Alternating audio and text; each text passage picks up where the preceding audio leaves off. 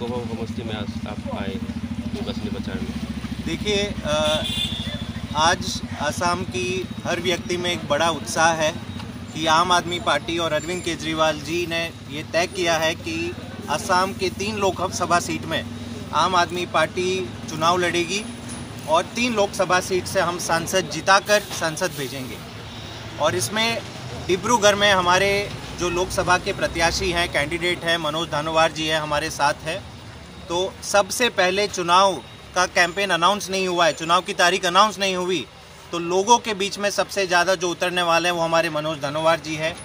आज उनका उत्साह बढ़ाने के लिए आम आदमी पार्टी के डिब्रूगढ़ के हर कार्यकर्ता का उत्साह बढ़ाने के लिए अ, मैं जैस्मिन शाह दिल्ली से आया हूँ और पूरे आम आदमी पार्टी का समर्थन पूरी नेशनल लीडरशिप का समर्थन डिब्रूगढ़ के कैंडिडेट के साथ हम कंधे से कंधा लड़ा लगाकर लड़ेंगे। और डिब्रूगढ़ के हर लोगों तक हमने जो आज पहला कैंपेन कल लॉन्च किया है डिब्रूगढ़ में, आसाम में भी केजरीवाल, आहो में तो केजरीवाल कैंपेन, वो हम लोगों तक ले जा रहे हैं। और इसमें हम सिंपल मैसेज दे रहे हैं कि अब अरविंद केजरीवाल जी डिब्रूगढ़ आ गए हैं, चुनाव लड़ने के लिए है।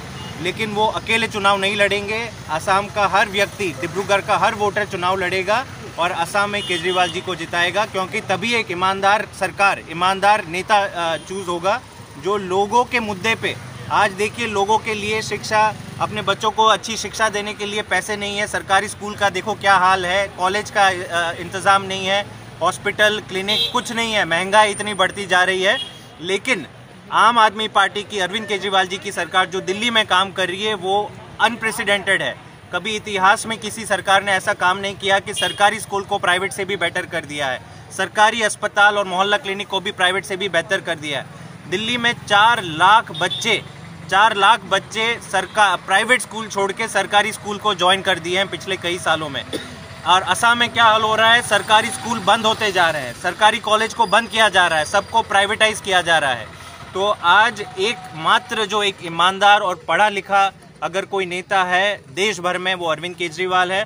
और अरविंद केजरीवाल का प्रतीक डिब्रूगढ़ में हमारे मनोज दानवार हैं। ये भी एक एजुकेटेड नेता हैं, बहुत यहाँ के लोकप्रिय नेता हैं।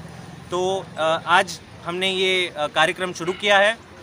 अगले दस दिनों में हम डिब्रूगढ़ के हर घर में जाएँगे और ये मैसेज लेके जाएँगे कि डिब्रूगढ़ से हर हालत में आम आदमी पार्टी को जिताना है। सर, फ़िलहाल टिकट मिलने बीजेपी का पार्टी केंद्रीय मंत्री सर्वानंद सोनोवाल का टिकट अभी पचास में चल रहा है। आप किस तरीके से बीजेपी का बगल में खड़ा होंगे? देखिए हमारा काम है जनता को एक ईमानदार और पढ़ा लिखा नेता का ऑप्शन देना, एक नई प्रकार की राजनीति का ऑप्शन देना। और हमने देखा है, दिल्ली में जब आम आदमी पार्टी लड़ी थी तो सब बोलते थे कि दिल्ली में तो इतने बड़े बड़े दिग्गज नेता है इतने इतने पूर्व मुख्यमंत्री है। पंजाब का एग्ज़ाम्पल ले लीजिए। पंजाब में जब आम आदमी पार्टी दो साल पहले लड़ी थी तो पाँच प्रीवियस और सिटिंग चीफ मिनिस्टर पाँच लोग एक साथ हारे थे।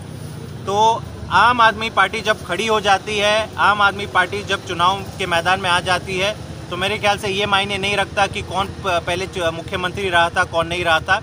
सवाल ये पूछना है आसाम के लोगों को कि इससे पहले जो भी नेता आए थे, उन्होंने क्या आपके मुद्दों पर काम किया? उन्होंने क्या आपके बच्चों के लिए शिक्षा और स्वास्थ्य और अस्पताल का इंतज़ाम किया? और अगर नहीं किया तो ये मौका है कि एक नई प्रकार की राजनीति को जन्म देना है। डिब्रूगढ़ से मनोज धनोवार जी को हरा जिताना है